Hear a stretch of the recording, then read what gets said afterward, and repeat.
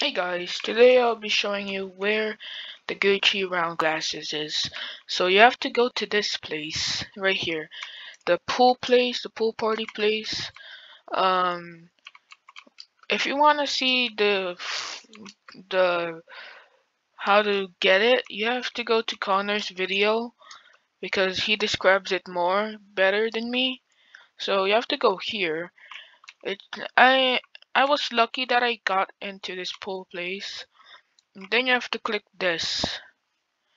Here it is. So you, I already got it, but you could, you have to click this thing, which is, it was supposed to say free, but now it just says update outfit because I've already bought it. So yeah, that's how you get the round glasses in Gucci Garden. I'll link Conor's video and the Gucci Garden game in the description. So yeah, thanks so much for watching. I hope you enjoyed and I'll see you in the next video. Bye.